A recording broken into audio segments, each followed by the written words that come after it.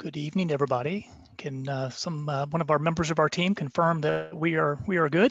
You are a go, Nate Shannon. Goodness. Okay. Well, welcome. Oh my goodness, is there, I, I'm I'm nervous. I'm nervous for us. I'm sorry. I've got a couple of screens going here in our GoSHRM studios, but uh, excited to have everybody back on behalf of the uh, 2020 Board of Directors. We're glad you're here. Man, do we miss you all. We miss your faces. This uh, this format doesn't do much good for that, but uh, it's great to reconvene here in this first ever online meeting. Uh, we'll ask that you all have uh, patience with us tonight with our technology. Um, we'll, we'll, we'll, see how this goes. I can tell you the team has been working tirelessly behind the scenes to, to try to pull this off.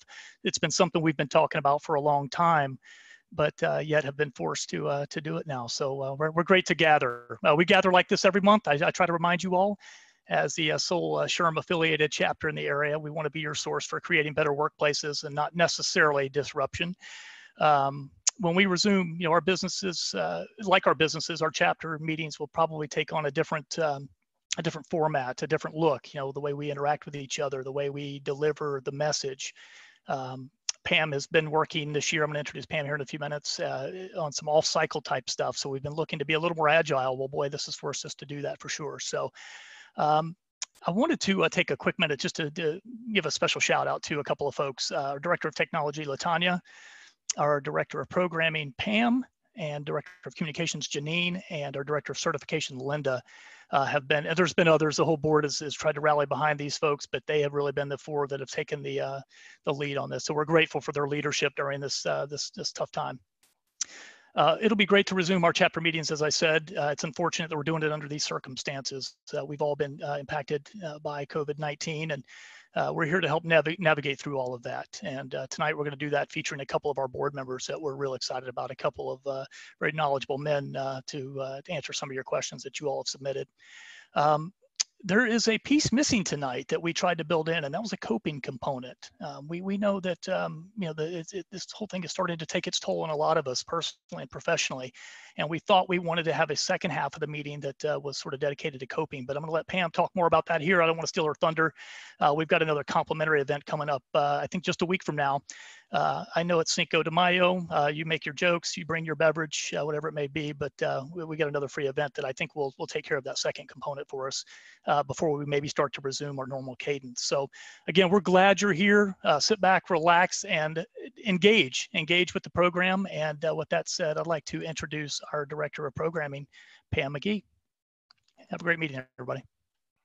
Hello, thank you, Nate. I appreciate that. Uh, again, I want to welcome everyone, uh, just as Nate has. A lot going on uh, within our communities and so on. Uh, first, I want to talk to you about first our agenda that we're going to be um, going through today and some topics from our directors uh, to let you know what's going on as far as uh, GoSHRM and our surrounding communities. Um, so the first thing, uh, as far as GoSHRM, if you anyone that has an interest to be a sponsor for GoSHRM during one of our events, please make sure that you contact Katrina Williams. You can go to our website and get her information under non-dues, and um, she'd be more than happy to take your information and those details for that organization.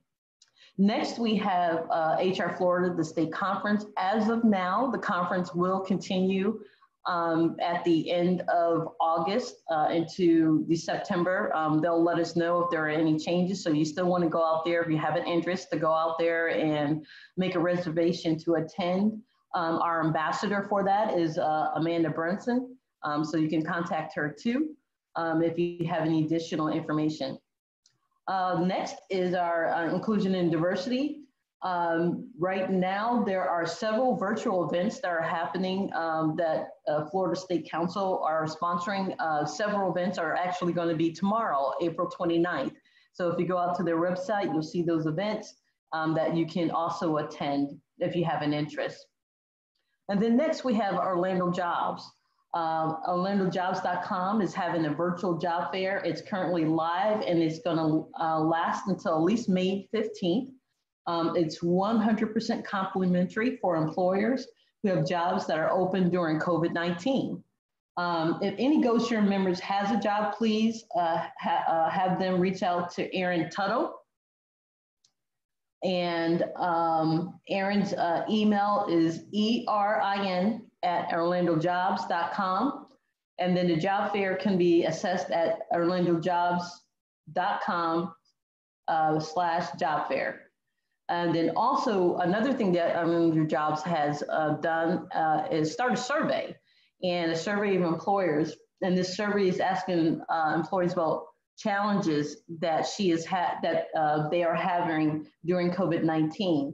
Uh, it should be released uh, today and you should definitely see it tomorrow up on the website. So definitely make sure that you go out there to Orlando Jobs and submit any openings that you have. And then um, if you are looking for opportunity, they do have the virtual uh, job fair going to May 15th again. So next, um, I have the pleasure of introducing two of our uh, distinguished members and actually board members also of GoSHRM, and they're going to be giving the presentation today. Um, their topic today is FFRCA and Emergency Leave Administration. And all of this has obviously kicked in, as we know, due to this COVID uh, crisis. Um, so I want to first uh, tell you a little bit about the gentleman um, presenting today. We have first is going to is uh, Pat Muldowney is a partner at Baker's House Hostetler's Orlando, Orlando office. Pat advises and represents private and public sector management clients in connection with traditional labor and employment laws. A significant part of Pat's nationwide practice includes defense of employers in class and collective actions. He's also has defended clients before the National Labor Relations Board, U.S. Uh, U.S. Equal Employment Opportunity Commission, and the Florida Commission on Human Relations. Additionally, Pat provides legal advice to clients re relating to their dealings with unions. Then next up, we have Justin McConnell. As an associate of the Orlando office of Fisher, Fisher Phillips, Justin represents employees in the areas of employment law and civil litigation. Justin has extensive experience in partnering closely with business owners, management, and human resource professionals to maintain issue-free workplace environments and represents employers of various sizes and industry. He regularly advises and counsels on matters such as employee handbooks and policies, wage and hour compliance, unemployment harassment, unlawful discrimination, retaliation, non-competitive competitive um, agreements, employee contracts, discipline, and termination, as well as diverse matters arising under Title VII. So I want to welcome Justin and Pat. Thank you, Pam. Thanks, Pam. Um, thank you both. Thank you, everybody, for being here. Um, uh, I'm hoping that um, you know we can help help you all out during this difficult time. It's uh, you know these are these are very difficult issues that have been sort of flying by us at a breakneck speed. Um, things, you know, the legal environment has changed from literally from day to day, and we're going to try to help you out with um, uh, with, with uh, trying to navigate some of the issues that have come up. Um, one thing I was going to say before, Justin, before we start was, um, yeah, this is the first time I've worn a collared shirt since March 17th. Uh, I'm sure a lot of you also have that issue uh, or have been in that situation. Um, one thing about doing this reminded me of uh, something that uh, we, both of us have received from a, a judge, a family court judge in Broward County, uh, who uh, sent out the following letter to, to lawyers. and the part that's important, and this is really important for, for Zoom meetings, I think generally, is the following. One comment that needs sharing and that the, in, in the judges would appreciate it if lawyers and their clients keep in mind that Zoom hearings are just that, hearings. They are not casual phone conversations. It is amazing how many attorneys appear inappropriately on camera. We've seen many lawyers in casual shirts and blouses with no concern for ill grooming in bedrooms with the master bedroom and the master bed in the background, etc. One male lawyer appeared shirtless and one female attorney appeared still in bed under the covers. And putting on beach cover up won't cover up the, the, your poolside in a bathing suit. Uh, so please, if you don't mind, let's treat court hearings as court hearings, whether Zooming or not. So it's always a, I think I kind of read that as a cautionary tale for, for this new Zoom environment that we all seem to be in now. So anyway, I share that. Um, Justin, I'll go ahead. I'll let you uh, introduce.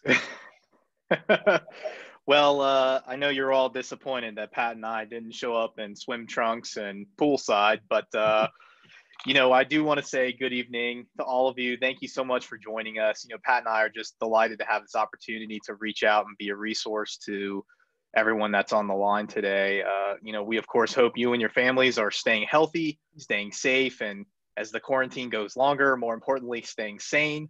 Uh, you know, again, I'm Justin. I'm with Fisher Phillips, and uh, you know, we're looking forward to sharing some important information with you about the FFCRA and hopefully have the opportunity to answer some of the important questions that we know you all have. So, thank you. Okay. All right, I guess uh, start with our first slide or second slide, I guess. Um, as Justin mentioned, we uh, we're going to be talking about the Families First Corona uh, Coronavirus Response Act, which is also known as the FFCRA. Um, this was a law that uh, was signed into uh, in, signed into into law on March 18th. Uh, it is a um, it was something that was passed in breakneck speed uh, with lots of questions that you know we and I'm sure you all have been dealing with this issue, trying to figure out what exactly does the law mean? Uh, what what do we have? You know, under this law, what do what do we have to do? Uh, the the law does have two main components: uh, the Emergency Family Medical Leave Act, which applies primarily to people who um, are unable to, who have children who are uh, out of school because of the because of COVID nineteen um, as well as uh, and as well as has no, they don't have childcare to, to take care of the kids. Um, again, that's sort of the Emergency Family Medical Leave Expansion Act, and then the Emergency Paid Sick Leave Act, which deals with that issue, but also we'll talk about deals with other issues related to COVID-19. Came effective April 1st. Uh, is only currently, and hopefully this will be it, through ending uh, December 31st, 2020. Uh, the DOL uh, did put out regulations in April on April 1st. However, from the time the act was was signed into law, the DOL was putting out guidance, uh, frequently asked questions, uh, almost it seemed like almost every other day. Uh, and then they and they continue to do that. And, and as as recently as last week, um, they had uh, sent out FAQs. Um, so the the interpretation of the law, which in and of, in and of itself was somewhat uh, difficult to understand, uh, has been evolving, um, uh, you know, sort of weekly evolving. Um, and, um, and so we're going to try to talk a little bit about, you know, where, where we are with that now. So. Okay. So let's first talk about the Emergency Paid Sick Leave Act. Um, so so here's the gist of it. You have to provide some new form of paid sick leave to employees that are unable to work or telework for qualifying reasons. And as simple as that sounds, uh, we know that this has been far from simple in implementing it and is the reason why the DOL continues to publish multiple FAQs and extensive regulations trying to unwind this. And for all of you who have been scratching your heads over the last few weeks, wondering, does this make sense? Uh, we've been doing that too, um, because a lot of this doesn't make sense, and we've had to get clarification on what does and doesn't make sense. Um, and I anticipate that as this, you know, continues to move forward, we're we're going to continue to have more questions that need answers. So, you know, let's talk first about who are the covered employees that are eligible for this benefit and you know who are the employers that have to provide it. So generally speaking any employee that's working for an employer is a covered employee under the emergency paid and sick leave act. Unlike almost every other piece of employment legislation that has ever existed there is no minimum hours or days requirement there is no requirement that they be full-time or part-time they are each eligible um, even employees that happen to be on temporary leave, um, your temp employees and even day laborers would be considered eligible employees for emergency paid sick leave. Now, some folks who would not count um, would be independent contractors. Um, employees who have been laid off or, or, furloughed and have not been rehired also do not count as an eligible employee. And for those of you who may have employees that uh, work on an international basis, those who are not actually physically working in a US state or a territory are also excluded from coverage. Um, so let's talk now about who the employers are that have to provide this coverage. So, generally speaking, any private employer that has less than 500 employees is going to be considered a covered employer under the Act. Um, I don't know if anybody is on the line um, who works with a public employer, but those folks, um, if you are a public employer, you are a covered employer. Um, basically, the way the Act reads is if you have at least one employee, you're covered. And I'm not sure how you would um, operate as a public employer without any employees. So, um, you know, you're going to be subject to coverage. Um, one question that has come up time and time again is, you know, hey, listen, that's great. We understand how many employees we have to have, but when do we count them? Um, the best way to approach that is to use what's called the snapshot rule. Take account of the number of employees that you have at the time that an, uh, an employee is requesting paid leave under this act. Um, now, this brings up an interesting dilemma because employers who may be hovering around 500 employees are going to want to keep a very close watch on their employee count because at various times they may actually move in and out of coverage. Um, another question that has come up is let's say that an employee requests emergency paid sick leave. And at the time that they do so, the employer actually has at least 500 employees. But later on, while the employee is on leave, the count happens to drop below 500. So the question is Is this employer still covered and do they have to provide leave? And the answer is yes, that they do. They have to continue to provide leave. Um, now, the reverse is not necessarily true though. If an employee needs leave and the employer has less than 500 employees when the employee actually starts leave, a later increase in the number of employees does not affect the employee's right to continue to leave. So, something to think about.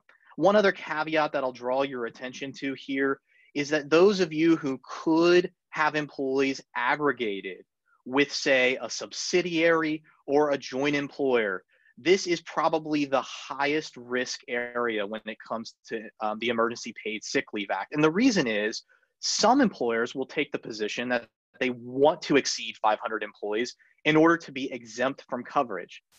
But of course, if you take that position with respect to this leave, it will have a ripple effect on a number of other employment laws and possible litigation defenses where you would not want to assert joint employer or integrated employer status. So I don't know how many of you may be in that category, but I raise that as a, a red flag that you may want to think about. Um, another thing we're going to talk a little bit more about later in the presentation is we did get a carve out for those who have less than 50 employees. Um, in that there is a partial exemption for small businesses with less than 50 employees. And I say a partial exemption because confusingly, only with respect to emergency paid sick leave that would be taken by an employee to care for his or her child due to a school or child care closing. Um, an employer can deny that leave if they meet this criteria of you know providing the leave would jeopardize the viability of the business.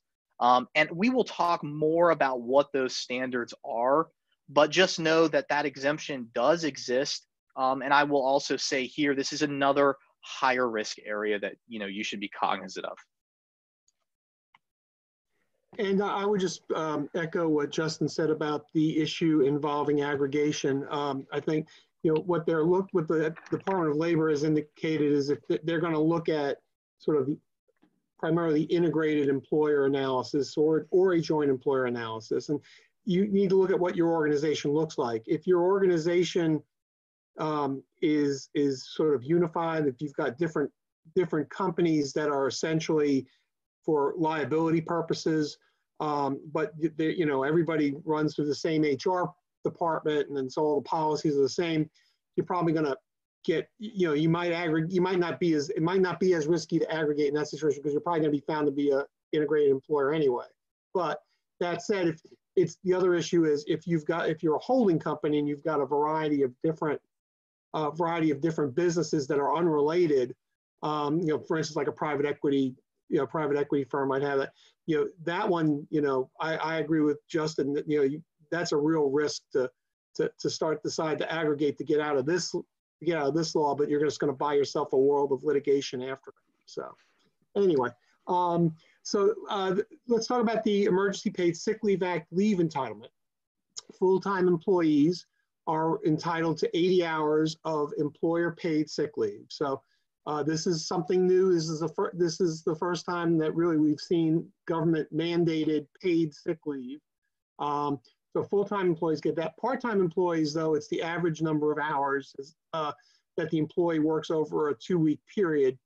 Um, you know, again, you can average it over six months if the number fluctuates. So you want to look at your, if somebody's regularly scheduled to work 20 hours a week, then, you know, they're going to be entitled to 20, you know, to 40 hours of sick pay for the two weeks.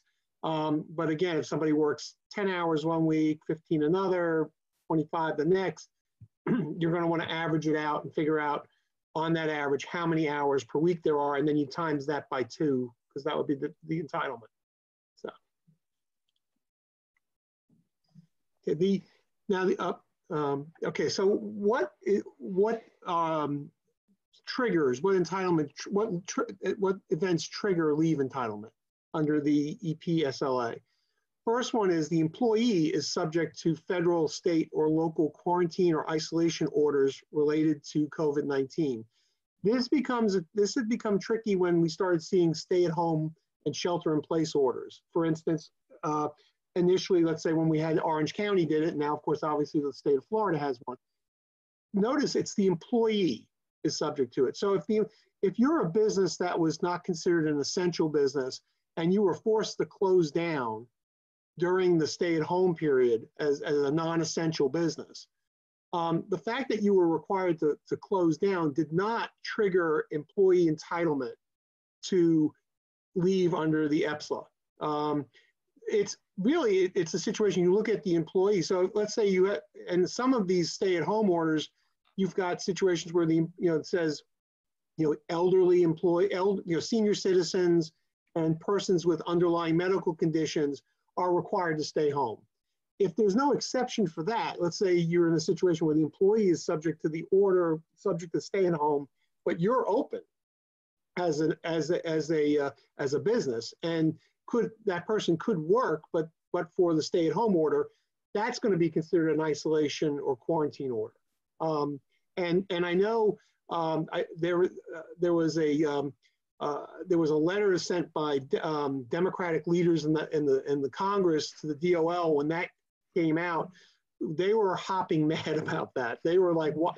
That they they felt that defeated the purpose of the act. But here, the you know the DOL is trying to rein in a statute that was crafted very quickly, very, uh, you know, uh, trying to do the right things, but not necessarily thinking through all the consequences. So the DOL, and that's kind of the reason why we've been seeing the DOL constantly put out guidance because they're trying to refine it you know, and, and, and trying to actually, in a lot of sense, limit it in terms of it going, you know, to areas that perhaps were not necessarily in, uh, envisioned by those who, who, who approved it. Um, another area where leave entitlement, where there's leave entitlement is when the employee's been advised by a healthcare provider to self-quarantine uh, due to concerns related to COVID-19. So for instance, someone who, you know, someone who is perhaps uh, on a cruise, comes back up from the cruise and is told, you know, as to self-quarantine for 14 days, that may very well be something that would, that would be a leave entitlement um, employees experiencing symptoms of COVID-19 and is seeking and is seeking a medical diagnosis. So not just it's not just people are fearful of potentially receiving of having COVID-19, but they actually are experiencing the symptoms, um, you know, fever, uh, you know, cough, the um, you know the the various ones that have been posted by the CDC. And uh, you may be aware the CDC has recently expanded the, different, the various uh, symptoms of, uh, of, of COVID-19 um, actually kind of makes it, uh, to me, it makes it almost unrecognizable from anything else that people might experience. But it's, I would consider, I would suggest you go see the CDC guidance to see the expansion in terms of what they're looking at as being symptoms of, of COVID-19. In these three cases, the compensation level for paid sick leave is 100% of their regular rate of pay as defined by the FLSA, but it's capped. It's capped at $511 per day, or in the aggregate, about $5,110 per person. So, so again, if somebody gets this, somebody is eligible for paid sick leave for these three purposes, um, they are eligible for that 500, uh, you know, $511 a day, 510, 550, 5110 aggregate. So let's talk now about the uh, other three reasons that an employee may be entitled to uh, emergency paid sick leave. Um, so these are the ones that don't relate to the employee himself or herself, but relate to reasons that are external to the employee. Um, so the number four is that the employee is caring for an individual who is subject to an order or self quarantine. Um, when we first read these, we said, who the heck is an individual? You know, does this mean, you know, your your next door neighbor down uh, or, or a neighbor down the street that the employee just decides that they're going to care for gratuitously and that's going to trigger eligibility uh, for emergency paid sick leave.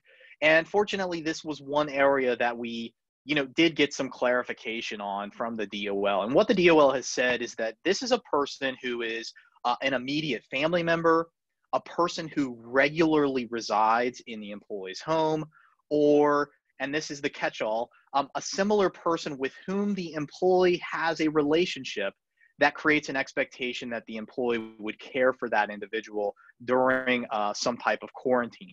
So, you know, some of the folks that may fall into this category, you know, obviously this may be a parent, it could be a sibling, it may be someone like an in-law, maybe an aunt or uncle. Um, those are probably people in the you know with familial relationships or you know familial relationships by law that we would normally think of.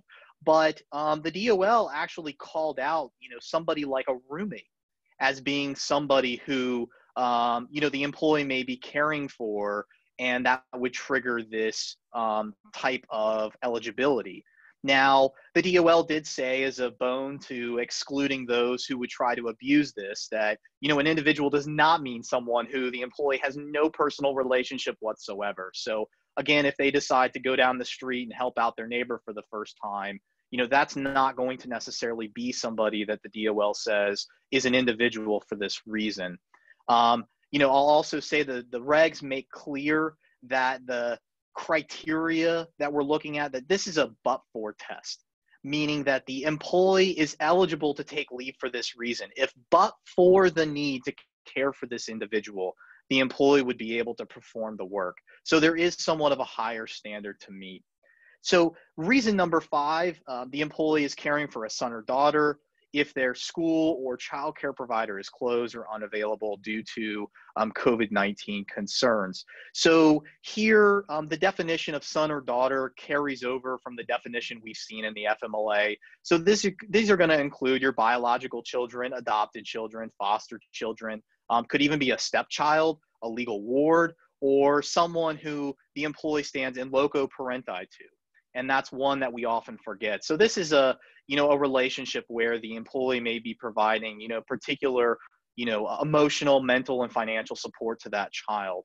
Um, note that the definition that we saw when it came out originally said it only applied to children who were under 18 years of age. They have gone back to clarify that it also applies to adult children if that child is incapable of caring for themselves due to a physical or a mental disability. So that may be a special circumstance that applies. Um, I'll note that regarding what schools are the types of schools that we're um, you know looking at in the definition here these are elementary or secondary schools so you know your elementary and middle schools we're not talking in high schools we're not talking about schools providing education beyond grade 12 so you know your folks that are trying to say that their college or university students are home due to a college or university closure. That's not going to um, qualify them for leave. Childcare provider, some of you know the obvious uh, the obvious folks that we know are within this definition are daycares, for instance. Um, but the the regulations are actually quite broad. What they mean. Um, it basically is saying anyone who receives compensation on a regular basis for providing childcare services and is subject to state licensure, that's going to be a childcare provider.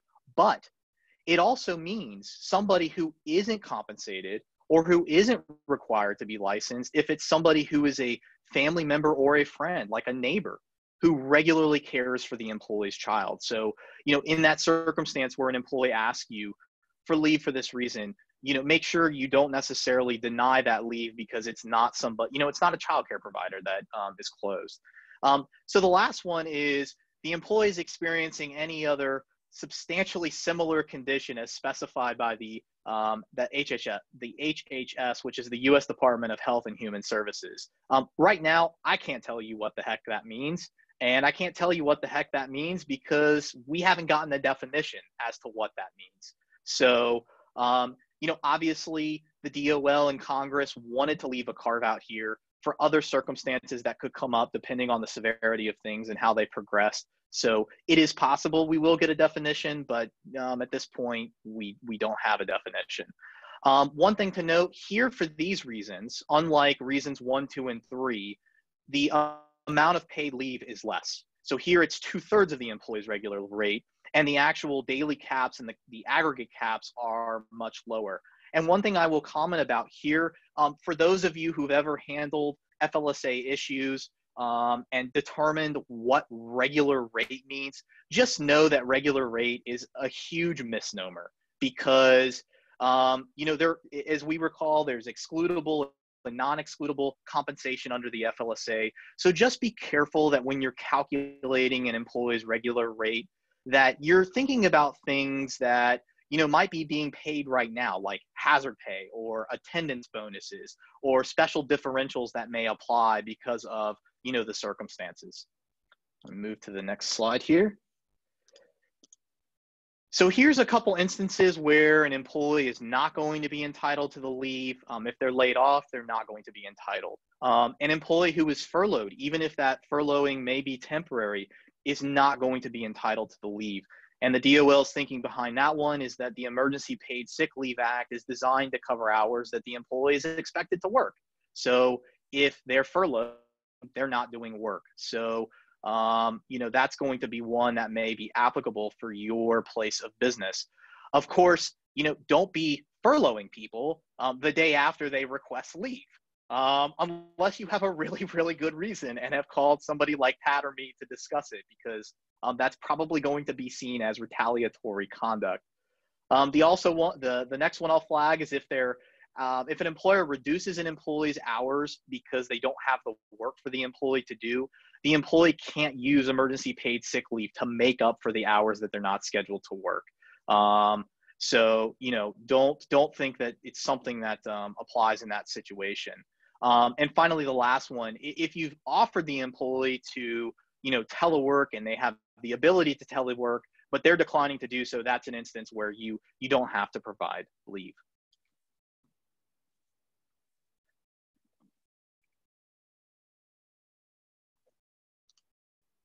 I'm sorry, I was on mute. so, um, with respect to rules usage, uh, you employers cannot require uh, employees to use accrued paid leave. Um, you know, it, it, those of you who administer the FMLA know uh, in the in the normal FMLA uh, situation, you can require people to use uh, paid, uh, you know, PTO that they may have uh, as a substitute for the for the leave. Here, you cannot do that. Not uh, the DOL is very clear, and the law is very clear about that. We'll contrast that with the Emergency Family Medical Leave Act requirements uh, later. Um, you can't require employees to find replacement to cover schedule hours. Uh, you can't require employees uh, to use again to use other paid sick leave, other paid leave before using this paid sick leave. If they want to use this leave, um, they are, you know, they, they have the right to do so. Um, now, one thing is you don't have to allow intermittent usage uh, of the leave. Um, and, uh, you know, uh, you may allow it in connection with childcare leave uh, because obviously the childcare leave lends itself more to intermittent usage as opposed to if you're quarantined or you're, you're um, if you're quarantined or you're or or you're you know suffering from COVID-19 symptoms, really there's no basis for using intermittent leave. The child care leave may be different though. Um, you can require, you can uh, ask for documentation. I know the DOL said, you know, the DOL said basically, you know, given given you know how busy physicians are, you know, they, they you know you may not get a doctor's note necessarily you are, but you are permitted to ask for some type of, some type of, uh, uh, of, of substantiation of the need for leave. Um, so, next uh, slide. Okay. Enforcement, uh, it's subject to FLSA. Basically, if you violate the law here, you um, are you are subject to the same penalties you would have for non-payment uh, of, of wages or and or retaliation under the Fair Labor Standards Act. Um, so in this situation, you might get the unpaid sick leave. If you've terminated somebody improperly uh, in violation of, of, the, of the law, you could get reinstatement and back wages. Um, liquidated damages, which is of course under the Fair Labor Standards Act, is permissible, uh, which is double, uh, double the amount of uh, back pay or double the amount of lost wages. Um, you're entitled to get that um, plus the ever popular attorney's fees and costs. So the plaintiff's lawyer can, um, you know, a plaintiff's lawyer can, can get their fees and costs uh, recovered. Uh, there is individual liability in this situation. So somebody who's a supervisor or sadly perhaps an HR person who, who's responsible for the decision um, can, can be potentially liable as an agent of the employer, as, as actually an employer under the definition. Um, so, uh, you know, the attorney's fee provision obviously sort of um, signals that when all this sort of settles down, um, I think we'll, we will see a, a significant spike in actions under this law and the other laws we're going to talk about today. Um, uh, as because I can pretty much guarantee you the way things have gone and the way things sort of came up so quickly in this situation, um, there's probably some technical violation that some employer has done somewhere or something that you know when we go back in hindsight we'll say you know they, they may say well the employer should have done something differently. And i, I think we will see attorney you know attorneys bringing those types of claims. Um, so uh, especially with the fee provision. So i would suggest uh, that you all make sure you, you are if you're subject to this law, you're administering it properly, and you're seeking you're seeking advice as to making sure that you keep up to date with respect to um, how the law is being interpreted. The DOL itself told uh, when the law was passed said, look, we're not going to we're not going to engage in any enforcement proceedings with respect to conduct that may have occurred up until April 17. In, in other words, they gave 30 days from the passage uh, to uh, for, for employers to kind of get into compliance. That didn't mean that you could you had that didn't mean you, you weren't supposed to be in compliance April 1st, which was the effective day of the act. It was just that the DOL understood that if people are in good faith trying to get up and up the speed, they were not going to take an action. Now, just because the DOL didn't enforce it doesn't mean that we might not see private actions. Um, even even though even during that sort of DOL uh, uh, grace period. Uh, so anyway, that, just so you know, in terms of the, the, the, DOL is now obviously anything that comes up that they realize or that they believe is a violation, they will seek enforcement uh, and potentially seeking the penalties that we just mentioned. Next slide. Okay, so now we're talking about the Emergency Family Medical Leave Act, which was the other piece of the uh, of the FFCRA. Uh, and this is you know, this uh, built upon the existing uh, the existing framework of the Family Medical Leave Act, uh, but uh, it, and as we will talk about, was dealing with specifically the issue of caring for children um, in the wake of school closures and uh, the lack of uh, childcare in in the wake of the COVID nineteen um, pandemic. So next next slide. Okay, so um, let's talk about you know the basics of what this leave um, allows. So um, unlike the Emergency Paid and Sick Leave Act, we only have one qualifying reason for taking emergency family and medical leave. And, you know, here's where the circumstances apply. But essentially, you know, it's it's the same as reason number four under the Emergency Paid Sick Leave Act. So if an employee is unable to work or telework, um, they have to be home because they need to care for a son or daughter who's under 18 years of age. Of course, you know, with the caveats we've talked about, um, you know, the school's closed, childcare is unavailable, and um, it's due to a public health emergency. So, you know, and, and the DOL has clarified that what we mean by that is actually what we meant when we were talking about the emergency paid sick leave, which says due to COVID-19 reasons. So it's it's very broadly interpreted.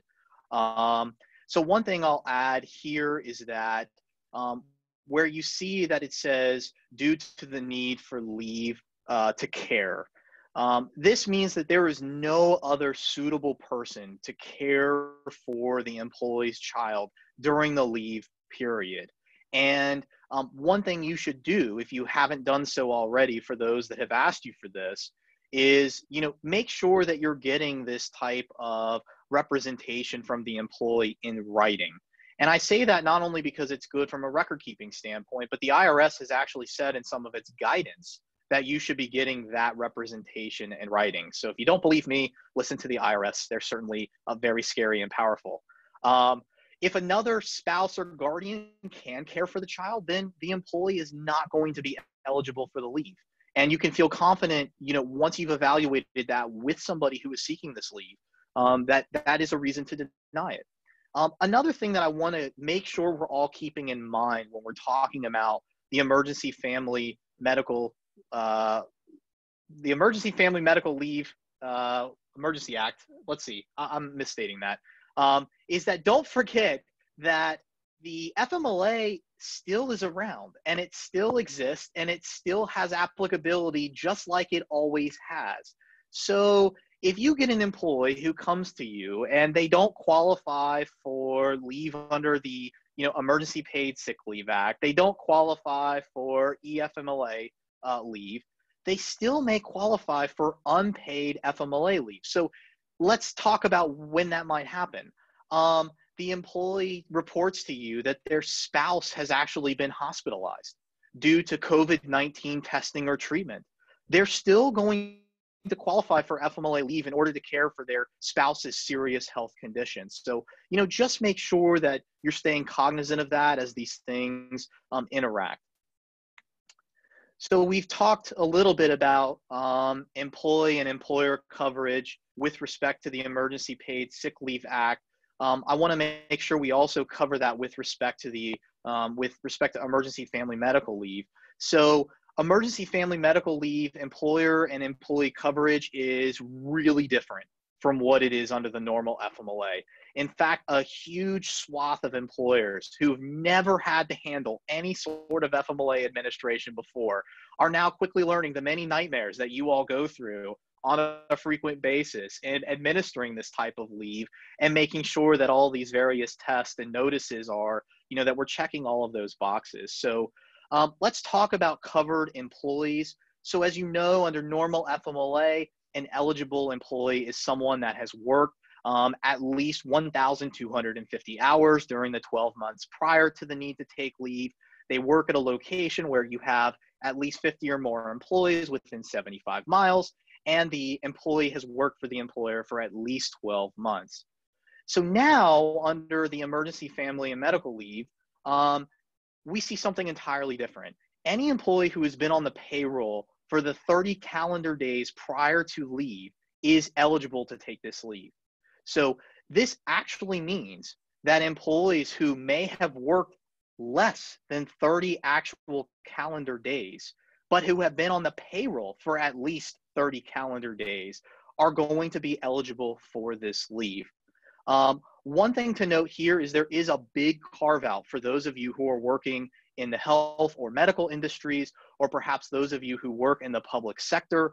Um, this is the same under the Emergency Paid Sick Leave Act, but as an employer, you do have the right to exclude someone who otherwise would have been eligible if they are quote unquote a healthcare responder or quote unquote an emergency responder. And we could spend a lot longer today talking about what those definitions mean and some of the arguments for and against those definitions. But just know um, those are people that you can deny this leave to um, for a variety of reasons. I also think that you should pay really special attention to employees that you might have laid off um, as of or after March 1st of this year and who may become reemployed by your company before the end of this year. Um, the DOL has said that employees are eligible for this leave so long as they were on the payroll for 30 or more of the 60 calendar days prior to the date that the employee was laid off and then since become rehired. Um, so again, that's another special circumstance to just, you know, there's obviously a very specific test here. So if you see a circumstance like that, just know, hey, maybe this is one of those weird circumstances. Um, with respect to employers, again, um, we have a new test, unlike the, the normal FMLA test. You know, under normal FMLA, we determine if the employer has employed at least 50 or more uh, employees in 20 or more calendar work weeks in the current or preceding calendar year. For EFMLEA, um, we again use the snapshot method. So we're going to look at the number of employees who were employed at the time that the employee requests leave. Um, again, private employers with less than 500 employees are going to be covered. Public employers with, with at least one employee are going to be covered. And again, just like emergency paid sick leave, we have this small business exemption that we'll talk about a little bit later in the presentation. One thing I just want to follow up on, on what Justin mentioned about healthcare providers. Um, one a, a an area that has been somewhat of a of a, of a sticking point um, since the DOL came down with some with their regulations was healthcare providers. If you look, the definition of a healthcare provider in the Act references healthcare provide health references the definition in the ordinary FMLA, and this this appears this, this definition appears both in the Emergency Family Medical Leave Act and in the, um, the Paid Sick Leave Act. The, the law said, you know, they, the, they, they reference the definition of healthcare provider in the FMLA, which is a very limited definition. I mean, really, it's physicians, um, nurse practitioners, uh, physicians assistants. Very, it's a, it's you know, there's a number of different areas, but it's not anybody who provides healthcare. Um, the law, um, the, the, the, the DOL in interpreting the law has really expanded that with respect to exempt, allowing em, uh, employers who are medical employers to exempt employees from coverage under the family under the Emergency Family Medical Leave Act as well as the um, the, the, Paid Sick Leave Act. Um, specifically, they, the DOL has said, you're medical practice or, or a similar type of, of institution or business, you can basically decide to exempt all your employees as healthcare providers. Um, again, this is another area that the that the Democrats in Congress um, have been very upset about. Um, but the uh, but the DOL has said, look, you know, if you're a doctor's office, you can basically exempt uh, from coverage. Um, you know, your doctors, your you know nurses, nurse practitioners, your records persons your receptionist, anybody who works in the office, um, which again is, is a much more expansive definition of healthcare provider than what you would find in the FMLA. So if you are in that industry, if you are a health in a in a medical um, practice or a medical related field, be aware of that. Be aware of that potential uh, ability to exempt employees. So, um, so let, let's talk about the leave entitlement. Okay, so you like the FMLA, you do get up to 12 weeks of job protected leave um, for, in connection with these issues of childcare. Um, the first two weeks or 10 days is unpaid, um, but employees can substitute paid leave there. Uh, employer, the employer cannot require um, substitution, although the regulations, um, the DOL has has been has equivocated on this. So it, it's really a, it's not a, and, and Justin, you may uh, you, you, may agree with me on this or not, but I, I, don't think it's a settled issue yet whether you can require people to sub, at least not at least after the first two weeks that you can require that the employer could require use of the paid sick leave. Um, the first two weeks you can't require paid sick leave um, or or substitution, but again, employees can use paid sick leave. They could use their those two weeks of the uh, uh, Employee Paid Sick Leave Act leave uh, for for for this purpose as well. Um, again, that would be compensated at two thirds of the regular rate of pay as the remaining 10 weeks are. They, they actually can be compensated at two thirds of the regular rate of pay. They're capped at 200, but $200 a day or $10,000 uh, for the employee for those 10 weeks. Um, and the regs on the, the DOL's regs, which again go beyond where the statute says, indicates that you could require people to use the paid sick leave there as long as you paid them their full, uh, their full uh, salary or wages for that week. Um, again, it's the DOL's regs are contrary to what the statute says, um, but you know, at, at this point, it can be uh, it can be um, you know, the DOL. You can rely upon DOL regs, but I, I'm wary given the fact that the, the regs kind of go back and forth at times as to how long you could actually deal with that kind of requirement. So it, to me, that's a that's an unsettled area, and I think you need to, if you're thinking about doing that, you really need to sit down with counsel and discuss that issue. But that's something for you to be aware of. Um, these the the 12 weeks that you're taking because of the because of this uh, COVID-19 related issue in terms of childcare is part of. It's not in addition to the regular allotment of 12 weeks. So if you're a otherwise FMLA FMLA covered employer, uh, if somebody takes the 12 weeks here for the child care piece, um, that means that that means that they don't necessarily have to. Uh, you, you, that means that you're not required to then, if they come back and say, I need 12 weeks for some other F, for some FMLA purpose, uh, you know, childbirth, etc." you don't have to grant that because they've already they've already used the 12 weeks in connection with the child care. Okay. okay. So now, where the again, with, as, as states there, where the needs foreseeable, uh, the the employee needs to give as much notice as practical. Um, again, this is obviously there is real short time frames here, but uh, in terms of childcare, things may happen much much uh, quicker than one would you know it, not, such that you wouldn't necessarily have the kind of notice that you might have in normal FMLA purposes. But again, as much notice as practical, they have to give. Um, you can require intermittent leave. If the employer agrees to intermittent leave, they can go ahead and do that. Um, and in situations where you've got two parents at home with the children, um, uh, you, you probably would perhaps allow intermittent leave. Perhaps you would do, you know, some one spouse would be responsible for taking care of the children Monday, Tuesday, Wednesday, the other one Thursday, Friday, and so the person who's sort of not the primary caregiver for the children on those days, on a particular day, would uh, not necessarily have leave that day. But if they are the primary caregiver, you may want to go ahead and give them, allow them to use leave um, for that purpose. Uh, employees are entitled to reinstatement and job restoration upon expiration of leave. Um, 25 or more employees, the same or equivalent position, less than 25 employees, either the same position or an equivalent position if there's no one, if the original one no longer exists. Uh, or if there's re, or if there's no other position available with a smaller employer like that, then um, they have a recall rights for a year. Um, one thing that you want to think about is, and, and this is the issue that comes up with respect to, um, let's say, older children, children who are, you know, high school age. You know, can, if somebody can work at home, if somebody, you know, then, you know, if they can telecommute or telework, then there may not be a need for the leave if it's an older child who can basically take care of themselves.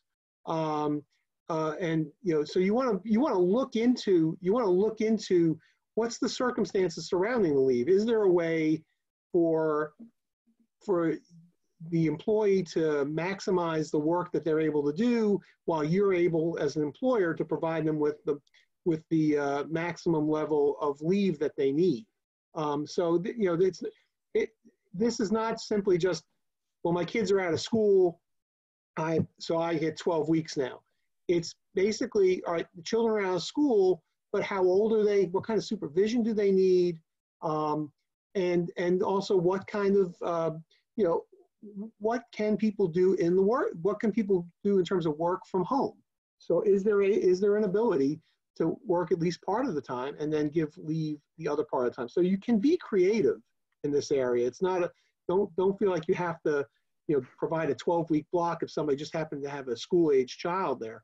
Uh, but again, you might be in a situation where it's a young child, it's a single parent, they don't have childcare. Um, you know the you know maybe you know, grandma usually watches the kids, uh, but you know, given that she's a senior citizen, you know, she might not be able to, you know, she may not uh, leave. You might want, she might not leave the house, her house, uh, because of a stay-at-home order, or you know, there's concern about, you know, COVID-19, so she's not available. Um, that you know, that situation, you might have to give, you know, full-blown block of time leave. But in other situations, you may have some more flexibility. So uh, we've talked about a lot of, you know, specific requirements that we have to follow, and undoubtedly, even the most well-intentioned of, you know, HR generalists, managers, supervisors, you know, there's probably going to be some cases where um, we, you know, we just missed the boat. So, um, you know, what's going to happen if we screw up on accident? And Unfortunately, what I have to share with you is that the same penalties that we see under the FMLA are also under emergency FMLA. Um, so the unpaid time that they don't get, um, reinstatement, back wages, liquidated damages, which is just a really fancy word for double damages, and the um, always notorious and infamous attorney's fees, which in a lot of these cases can uh, be the, the, the, you know, the horse driving the cart, so to speak. Um, you know, if there is a silver lining um, to any of this, it's that at least for those employers who have less than 50 employees, you know, the folks who have never had to experience FMLA administration, um, we did get a carve out to say that uh, uh, with respect to those employers, that private lawsuits cannot be brought by employees. And that's a real big win um, because it basically leaves any enforcement to the Department of Labor. And whether their own action, going to be a convoluted determination or budget resource based, um, and really is unlikely. Um, so, you know, that's a win for smaller employers who may be worried about oh my goodness, I've never done this before. You know, we might screw this up. Um, you know, the other silver lining, and Pat's touched on this a little bit, is that, you know, during the meat of when all these new FAQs were being published and, you know, we got the new regulations, we did sort of get this grace period, you know, through April 17th. Um, so long as you were making a good faith and reasonable attempt to comply. Um, of course, we're now past that grace period. So the DOL has made very clear that any lift or, or any day non-enforced lifted, and they now intend to fully enforce any and all possible violations. Um, so, you know, if you haven't really taken a look at this before today, um, now so very um, in tomorrow who is going to seek to take some of this leave. So there are notice requirements under the act. Um, and, you know, where you, let's assume for a moment you have employees that are still reporting to the work site. Um, the DOL requires that you post a notice in a conspicuous place. So this, this should be in the same location that you make all of your other required postings um, you know, in an employee break room or something to that effect, maybe by the copier where people go in and out. Um, but obviously a lot of folks are staying home. And for those people who you know may not be aware, um, you also have the option of distributing this notice to employees by email. Um, you can also post it on an employee intranet, for example. You can also directly mail the notice um, to the employee if for some reason they will not have access to it through any, uh, any other means. Um, one other thing I will tell you is that the DOL has created this very um, beautiful looking notice that I'm sure they spent a lot of taxpayer money to design. But if for some reason you have a really difficult time using the DOL's notice, um, you, you do have the option of creating a different form of the notice, but you have to still make sure that the content you're including in it is accurate and is actually readable. So um, I, I, will tell you there are folks that would try to put this in six or eight font type where you you can't even make out that that's a notice. So that that's that's going to be a no-no and a bad idea. Um, you know the F, F, FFCRA has also said that you don't have to provide translated versions of this notice, but at least at this point we do have a Spanish language version of the poster that's available online.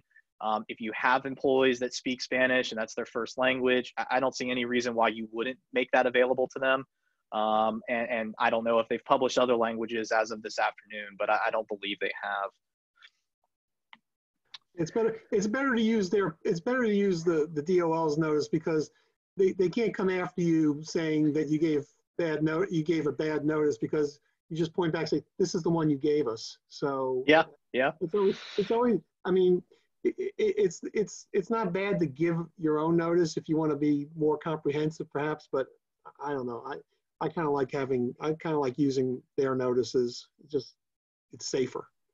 Yeah, I, Pat, I completely agree. Um, I actually had a client come to me and, um, you know, wanted to highlight the things that were quote unquote beneficial to the employer and, um, you know, try to manipulate the form to not be so obvious with respect to other things. If you can believe that that actually happened, uh, it did. So um, I completely agree. I think your safest bet is to use the uh, the DOL provided notice. You can't go wrong there. Um, so let's talk about this small business exemption. Um, one thing that we really need to talk about is that um, you know the small business exemption wasn't as um, broad as we had perhaps hoped. Um, so you know with the emergency paid sick leave, I just want to harp on again um, only with respect to an employee who is taking the leave to care for you know their child because of school or childcare closing can you utilize this small business exemption? Otherwise for any of the other reasons provided in the emergency paid sick leave act um, the bad news i have to share with you is that you're stuck. Um, you're stuck providing it um, as long as the other criteria for eligibility are met. Um, you know again the exemption does exist too for emergency family medical leave um, so you can use it for that purpose. But we're only talking about an exemption that deals with that very limited purpose of an employee being gone to care for his or her child. So the regulations in telling us what this looks like set out these three criteria that have to be, um, or, or let me restate, um, one of these three criteria has to be met in order to qualify for the small business exemption. You do not have to meet all three. Um, so you'll see the first one is that um, expenses and revenue um, are such that the employer is not going to be able to operate even at a minimum capacity. Um, the second criteria is that if this person was on leave, that there be some type of substantial risk to the employer's operations because of that employee's very specialized skills, knowledge of the business or responsibilities. The easiest way I can relate this one to you is this is probably somebody who would be like a key employee under the FMLA analysis. So somebody really special and critical to the employer's operations. That's what this is talking about.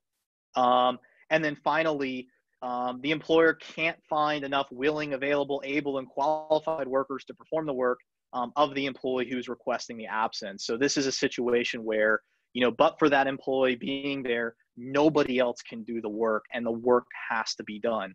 So you know this is the framework we've been given. There's obviously a lot of gray area between what we have here. And you know whether or not your small business would potentially qualify is going to be an individualized assessment. You know your business is going to have circumstances that are unique to your operations.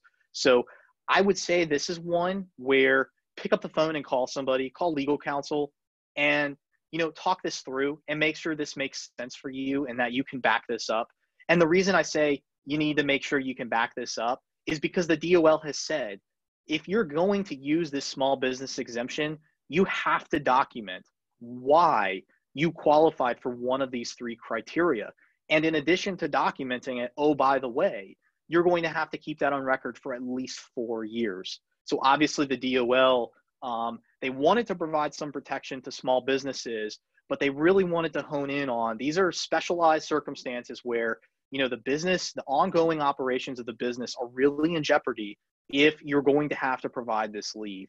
Um, and I will tell you, in truthfulness, you know, if you're a small business and there's a one-off employee who needs to take this leave, it's probably going to be pretty hard to argue that some of these things apply unless they're, you know, a very specialized person in your organization. Um, so just something to think about there.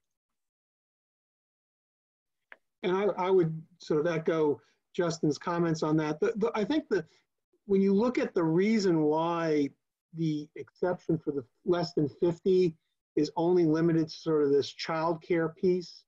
I think it's my thought was it's basically, you know, and my talking with clients over the last several weeks and dealing with this stuff, it seems that the issue is they most employers don't worry about the two weeks sick leave because obviously if somebody's sick with covid-19 they don't you know it, it's they're not they're not going to come into work the employee employers don't want them into work and you know, two weeks is not as big uh, is not as big a chunk uh, of time. Um, the the problem has been, I think, and also because, and fortunately in Central Florida, I think this has been the case. There had, you know, the, the fortunately it's not been, as, you know, the illnesses have not been as widespread as was initially, you know, where the, you know, other locations uh, and what was initially thought for here in, in Central Florida. Um, so most of my clients have been sort of not as concerned about that.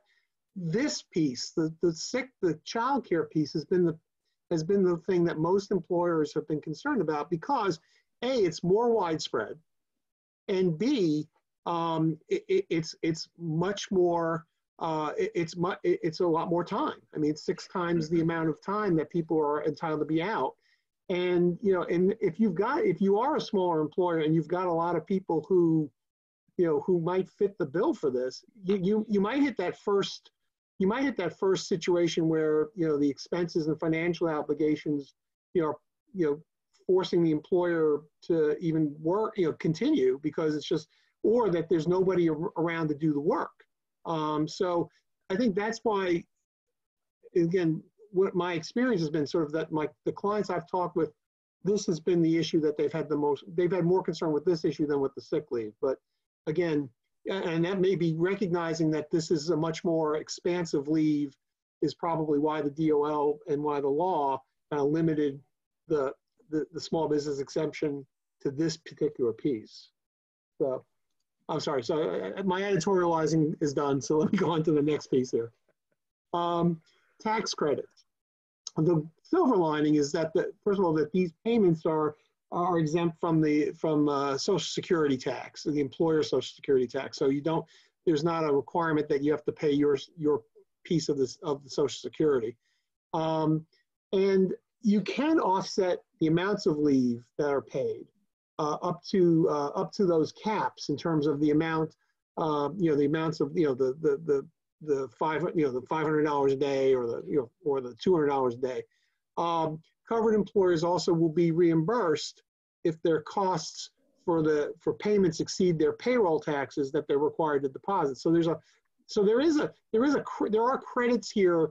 You know the government is while they're telling mandating the paid leave, they are providing ways for employers to at least recoup those expenses through tax issues. Okay, so we're going to move on to some other things outside of the FFCRA and things that I'm sure that you all are dealing with. The first thing is dealing with furloughs. Um, you know, I've been practicing, I hate to say 32 years. Uh, uh, and this is the first time really that I've been dealing a lot with furloughs as opposed to layoffs. Most, most of our, most people lay off folks as opposed to furloughing. Furloughs are essentially an unpaid leave of absence um, it, versus a layoff, which is where you're severing the employment relationship. Uh, the employee, when you furlough somebody, they remain your employee. Uh, a lot of employers, you know, they, they would remain eligible for health benefits. A lot of employers who have put people on furloughs have said they're going to continue to pay for their health benefits. Um, now, if, if they don't pay for the health benefits and they just put them on furlough, uh, and because of the reduction in hours, they're no longer, you know, the employee is no longer eligible for benefits, um, you know, you might have a COBRA issue at that point. Um, and so, but you want to, but it, again, most, a lot of employers that I've been dealing with have been as part of the furlough saying, look, we're going to, you know, we're not going to pay you anything. You're not going to be working, but we're going to keep you on health benefits as long as we can. One thing you should do if you have a, if you put people on furlough and are keeping them under their health care benefits, is that you should talk with your, you should talk with your health, uh, your insurance provider to make sure that you can keep folks on the benefit, how long you can keep folks on the benefits, because some plans, you know, will, some plans will say, look, you know, if you haven't worked for a certain period of time, you're no longer eligible to be covered under the under under the health plan, and that us- that issue usually comes up, unfortunately, at the at the back end when somebody is, you know, has has suffered some illness and maybe COVID-19 related illness, um, and then when they put in for their insurance, the insurance company says, well, these this person wasn't working 20 hours a week or whatever the minimum is, um, so we're not going to cover them you want to make sure that if you're going to if you're going to offer employees uh, health benefits while they're on furlough, that your health insurance provider will in fact consider them covered. Uh, and will you know if they don't, then when, then again you need to talk about going to perhaps uh, issuing COBRA uh, COBRA notices, and you may pay for the co you may decide to pay for the COBRA premium. Again, talk with your health insurance provider to make sure that you don't have this situation come up where, you know, at some point the employees, you know, out of pocket because because they really weren't, you know, the insurance company's taking a no coverage uh, no coverage position. Um, employees on furlough are eligible for unemployment compensation. Uh, here in Florida, they can they can apply for unemployment compensation. Uh, those of you who uh, have been following the, the CARES Act, which was the other major piece of litigation that was uh, passed uh, in connection with the, the response to COVID-19 um, know that there's been expanded insurance benefits provided, um, especially, uh, you know, the federal, the, the, I think the one that people realize, think about the most is under, there is a separate federal benefit that if you are entitled to unemployment compensation, uh, you get your unemployment benefits under the state law, plus you get an additional $600 a week in federal benefits, and that's through the end of July. Um, and so, um, you know, which uh, for some employers has created somewhat of a concern that, um, you know, it, it's for some employees, it's actually it's actually uh, more lucrative for them to be on unemployment than it is to, uh, um, to, to, to, to, continue working. So that's something that a lot of employers have had to had to struggle with. Um, hey, Pat and Justin, this is Linda. I just wanted to let you know we're at that seven o'clock time and we do have a few Q and A's um, that we do want to do. So I just want to give you a heads up that we do have some questions from the audience. So all those questions and, and we'll certainly get to them. Um, uh, you know, we'll, we'll, I'll try to pick up the pace and, and, and, and we'll get to them, but we certainly will get to whatever questions people have. Um, uh, and I'm yeah, I'm sure we're both willing to stay until we get that done. Absolutely, absolutely. Um, so WARN Act is when you furlough people, are, is the WARN Act implicated? Or if you lay people off temporarily, let's say. Um, there are two issues to look at with respect to the WARN Act. Well, first of all, those those of you who are subject to the WARN Act is are all employers with 100 or more full-time employees, um, and that means that means anybody who works more than 20 hours a week or has been working at the employer for six months or more. Um, uh, and so any employer who's got over 100 employees, if they close a, if they close a facility or they lay people off at a particular facility, at least 50 employees, and with the layoff, it's at least 50 and a third of the workforce, typically you have to give 60 days notice. Um, now, the situation is here is with respect to furloughs and layoffs, I mean, you're, you're, you're basically telling people not to come into work, and, and a lot of times it's probably far in excess of 50 employees.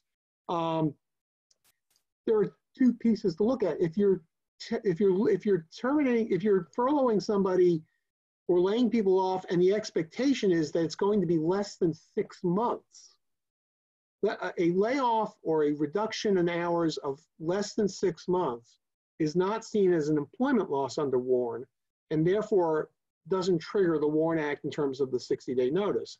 Now, the problem is what happens if you, you say, well, we anticipate the, the furlough to be 30 days. Then it goes 60 days, 90 days. And, and, and hopefully it doesn't keep going. Hopefully people are going to get back to work soon. But let's say it continues.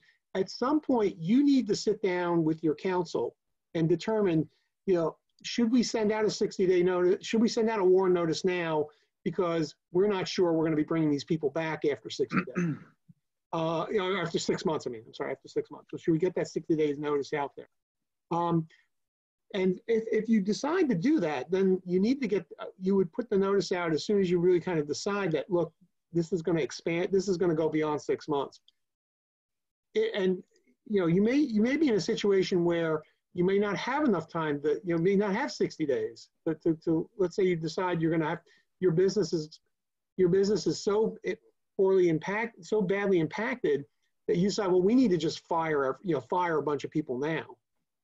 Um, one, one, you may not have to give 60 days notice if you can argue that there was an unforeseen business circumstance. In other words, there was a dramatic decrease in business caused by the pandemic that we that was not foreseen, and therefore that required us to to lay off people in excess of 50 but you have to, if, if you do have unforeseen business circumstances, you still have to give notice. It's just you have to give as much advance notice as you can. Um, so if you've, if you've got folks on furlough, keep your eye on WARN because it's important to that you may you you don't want to stumble into a situation where it's triggered because if it's triggered, there's an argument that you you should have given WARN notice back when the when the furlough or the layoff was initially done. Um, and that can create, again, you know, significant penalties and, and, and liability for the employer. So the big question on everybody's mind, or at least one that's being talked about extensively um, at a national and now state level, is um, what do we do about reopening? Do we reopen? How do we reopen? what does that look like and all of the questions that are no doubt going to come from the you know this issue of bringing people back to work and things getting back to quote unquote normal um, the first recommendation i can give you is of course continue to monitor um, guidance by the cdc regarding what are the things you should be evaluating to determine if you should be open or not? You know they've published guidance not too long ago saying that there's really three questions you should be thinking about. Um, are you in a community no longer requiring significant mitigation measures? Can you limit non-essential employees to those um, who are in the local geographic area? And do you have protective measures in place for employees that are at higher risk and you know the cdc's position is you should only consider reopening if you can answer yes to each of those three questions now I do think that's a little bit of an exercise in futility because, as we all know, there are just going to be businesses that are ready to open no matter what. Um, and at least here in the state of Florida, you know, DeSantis's uh, Governor DeSantis's stay-at-home order is set to expire on Thursday, and as of today, we still don't know what, if anything, we will have in its place starting after Thursday. Um, so here are some things to think about if you're, you know, in that category of folks that's going to be reopening shop. Um, one is social distancing. Should you continue to practice social distancing? And the answer is yes, you should, to the extent that you can. Um, and to the extent that you can't limit social distancing to six feet, you know, consider taking measures that would allow you to do the best in the circumstances. Um, you know, making sure we're practicing good you know, we've got good intensive cleaning procedures in place and disinfection. Um, maybe we're staggering when employees report to work.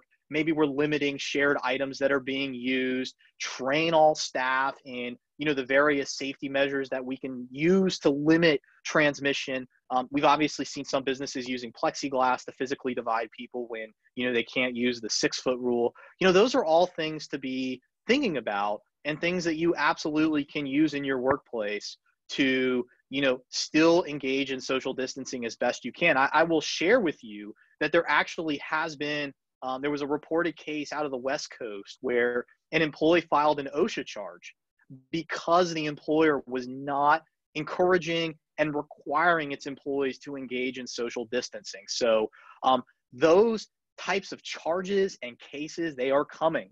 And you very very well have an employee who is seriously concerned about being at work and the employer not taking necessary steps to you know ensure that the workplace is safe to work at. So you definitely want to still do those things.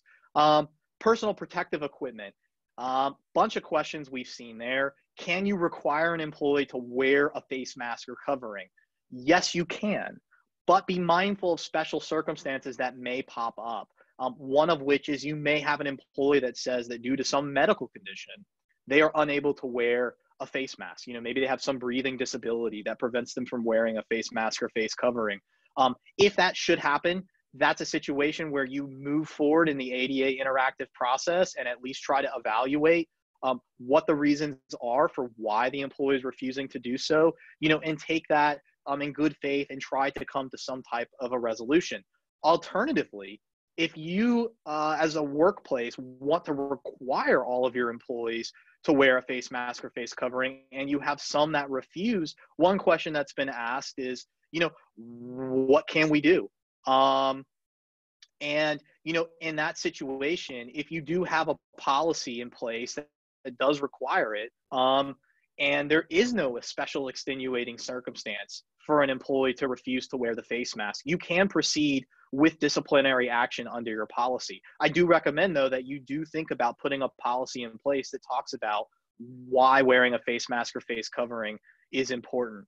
Um, all, there are, believe it or not, some employers that don't want to require um, their employees to wear face masks. And, you know, one of the situations or one of the questions that we've been asked is um, can an employer um, you know, basically tell the employee that they can't wear the mask or they refuse the request to wear a mask.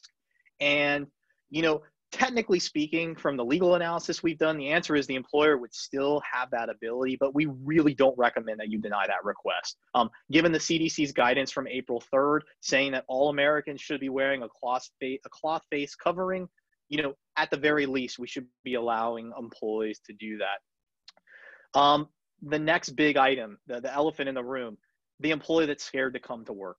You know, what do we do?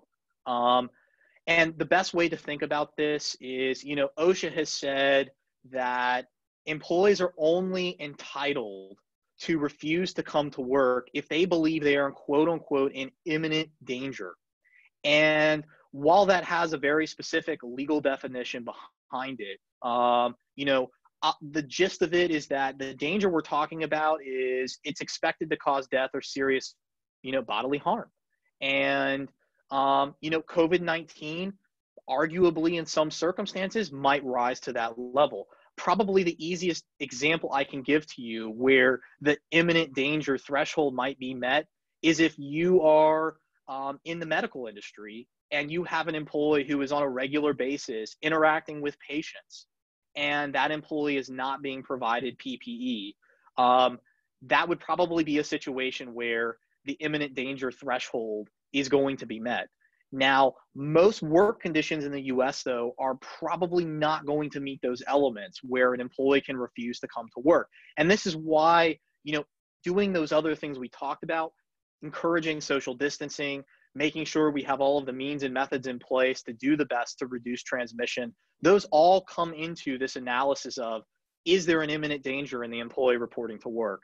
Because no doubt, the more we do to reduce possible transmission, the more likely it is that someone will come to work in a safe way and they won't be at risk of death or great bodily harm you know, because of a COVID-19 um, infection.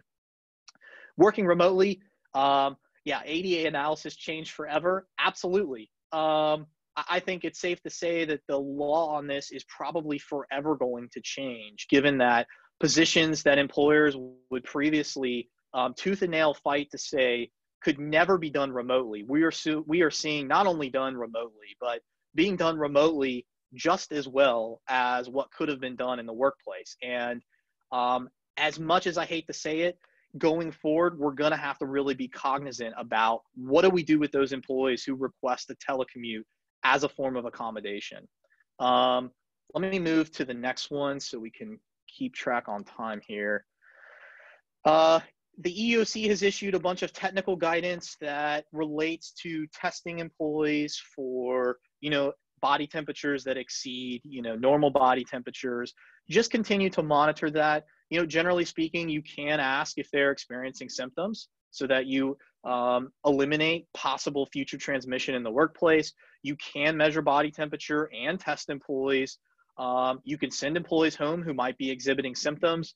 The big thing here, though, is you know we want to do our best to limit what information we are keeping in the workplace and maintaining that confidentiality and privacy as best we can as we go about it and making sure that everybody is going about this in a safe way. So you know if you're going to have employees that are taking temperatures these are the folks that you really should have you know be providing them ppe um, so that they can do this in a safe way when an employee has a temperature that might exceed you know 100 degrees have some type of process in place you know so the employee tests over the the normal limit. What are you going to do?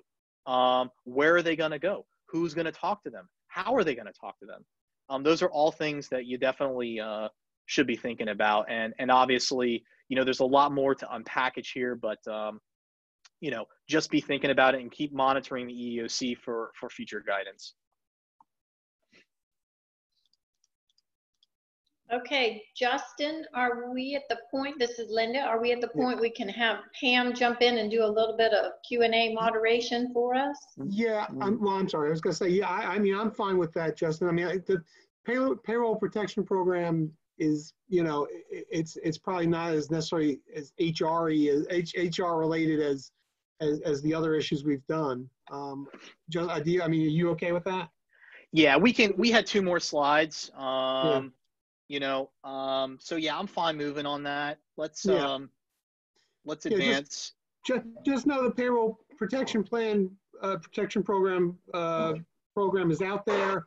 Um, and then also just the, there's some payroll tax credits. So, um, just, you know, uh, pay, uh, payroll deferrals. Um, so we can talk about that in the Q and A if you want. And then, um, and then I think, uh, as you saw on one of the slides there, you know, I will shamelessly promote both our firms' uh, COVID-19 resources um, in terms of uh, uh, you've got a lot of great lawyers at both firms uh, working very hard on this stuff, uh, as as you do at other firms too. I mean, you, if you you know your own firm, you know if you don't use one of us, your own firm probably is very effective in terms of putting together resources like that. So, you know, go visit your COVID, go visit your law firm COVID resource resource center. I would tell you daily because there's always updates.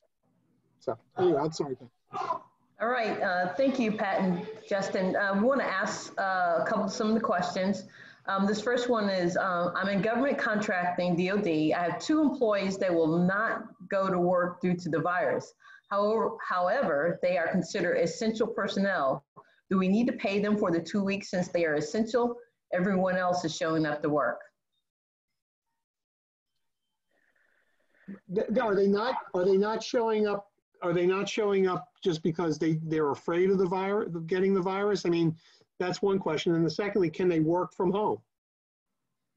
Okay, Yeah, I, I mean, this goes back to you know the topic we talked about of you know this imminent danger requirement and um, you know I think exploring some of the circumstances as to why they don't want to come to work.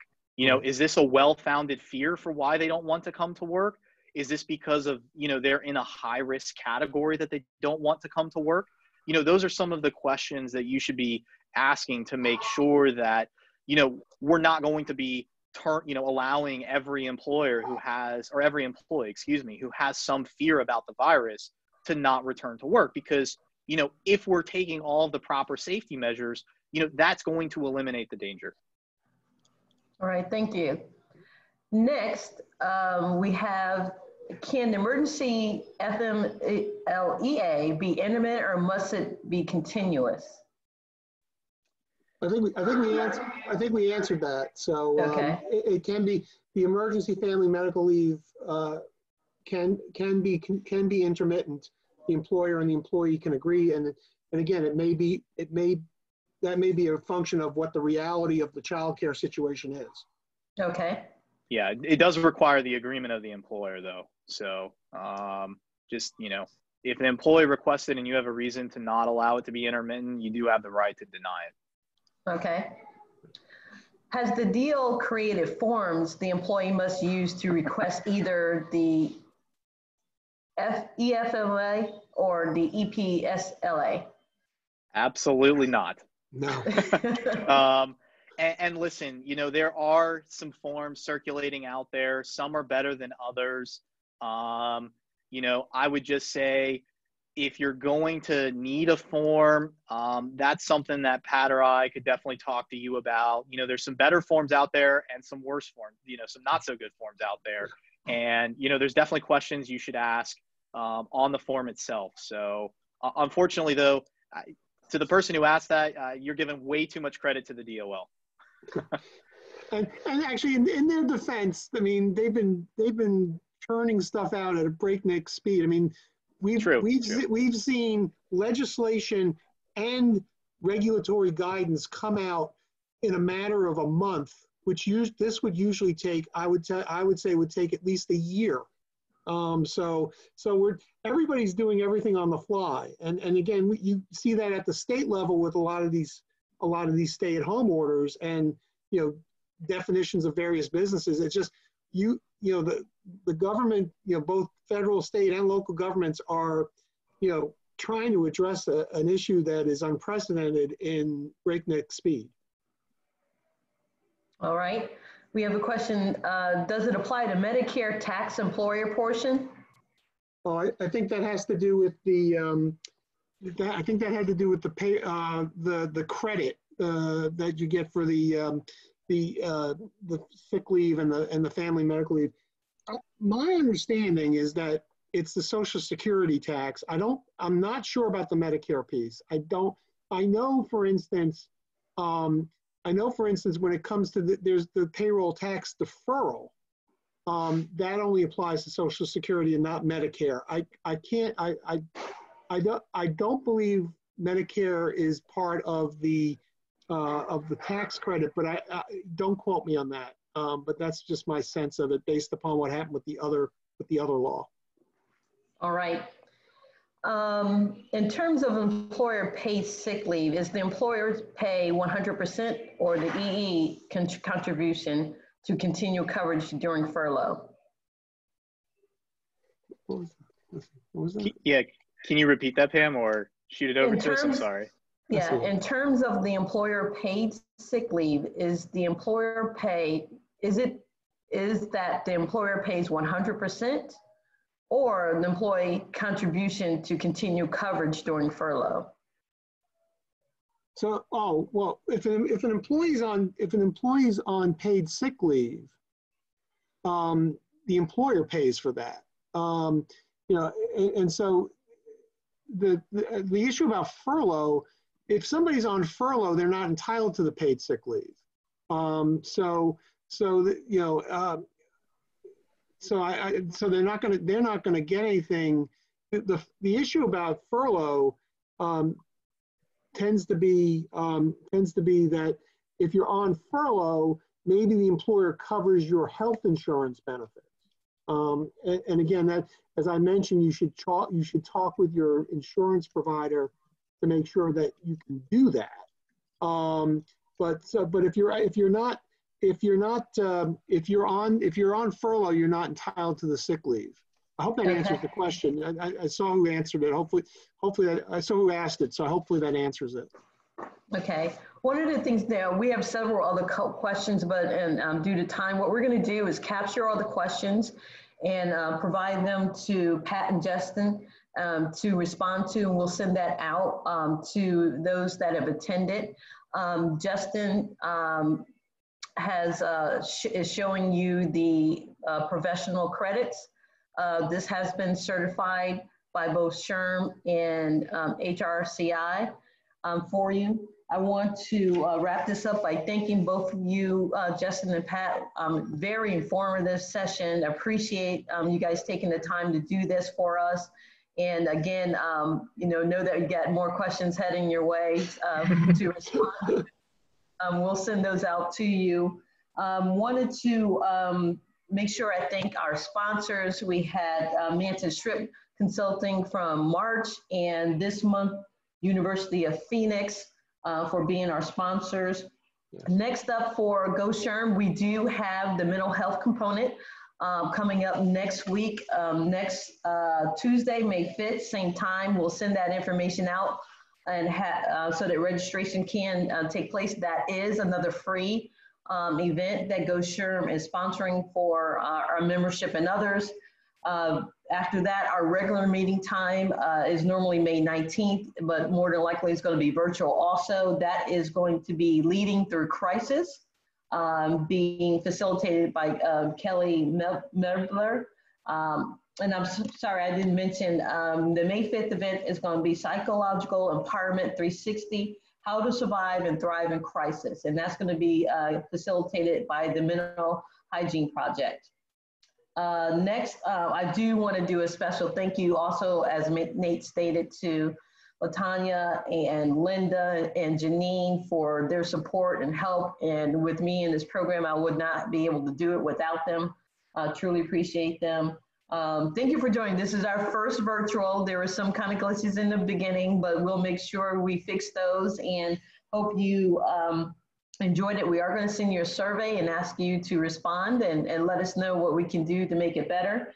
And uh, turn it over to Nate. No, I didn't need the mic again. I was uh, you. You could wrap it up. I, I will. like if you want me to close, I will. Uh, uh, Pat, Justin, thank you so much. Uh, Fisher Phillips, Baker Hostetler, you guys are awesome. The, the uh, content that both of your organizations are putting out via email is, has been amazing. So for everyone on the call, if you are not uh, getting those uh, those emails, uh, go go to their websites and, and get that. And uh, that's it. Thank you so much. Again, Latanya, uh, Pam, Linda, Janine, you guys are amazing. Thank you so much. We love you members. And we have some non-members. So you guys come back and see us uh, next week. Thank you. Thanks, everybody. Night, everybody. Good night.